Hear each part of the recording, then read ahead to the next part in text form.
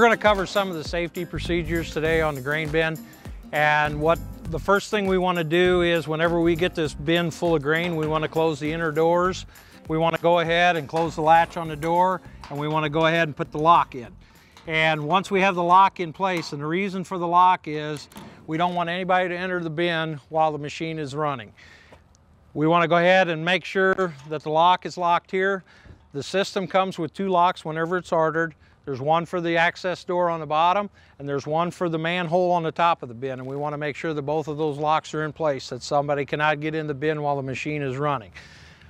The next step we want to cover is we want to make sure uh, we use our lockout tagout procedures and what that is is we come over here to the main power box. We want to disengage the power. We want to put the lock into the disconnect handle on the power box that way nobody can get into the bin or have access to the power of the bin while the machine is being serviced. And the only one that has this key is the man that put the lock on the outside box. We want to make sure that he puts that lock in his pocket. That way nobody has access to come and turn the power on to the machine while he's in the bin doing service work. One of the things we want to cover on the service side of it is we want to look at the jaw clutch and the belts and pulleys on the drive unit. We want to make sure that the belts are all in good shape. We want to make sure that the pulley's in good shape, make sure there is no excessive wear on it.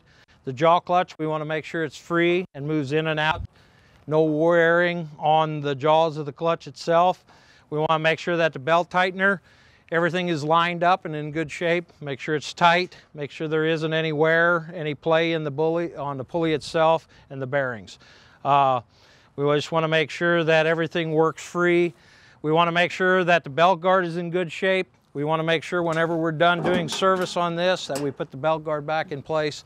That way nobody can come in contact with the belts as they're running while the machine is running.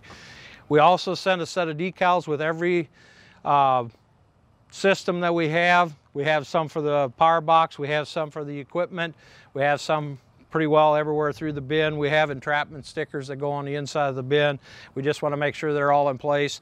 A safety decal does not prevent you from getting in the bin, but it reminds you not to get in the bin.